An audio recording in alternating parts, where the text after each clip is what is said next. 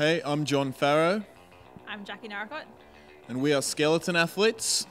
We have one of the more unique sports where we actually travel down the bobsled track head first. So, just like bobsled, we actually have our own sled, which we uh, run at the start. We have a nice sprint, uh, nice flat, and it starts to go over a crest. As we're running with the sled, we have to dive onto it head first, and then we settle in, and then we can actually take on the track.